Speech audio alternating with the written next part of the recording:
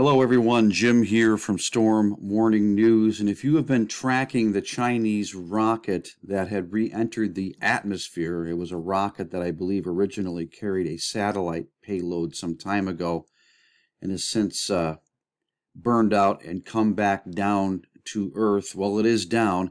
It turns out the Chinese rocket stage re entered over the, the Indian Ocean just off the coast of Malaysia close to populated areas. No word yet on any damage or casualties, but not but unlikely, as per uh, a Twitter user Chris Conti photo. Now here, uh, tweeted by a Nasri Salamain, is some imagery of this rocket coming back into the atmosphere. I'll show you here. Ambil, ambil, ambil. Oh, Bobby. Itu dia chạy. Ui, itu tu. Oh, Bobby. Gila lah. Subhanallah. Chạy. Mình tiêu rồi cả hả? Itu lah.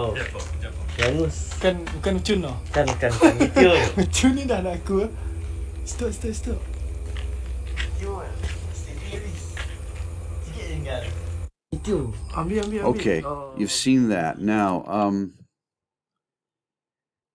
when I see this, uh, I don't know why, the first thing that pops in my head is the next time we see something like this, it may not be a Chinese rocket re entering into the atmosphere.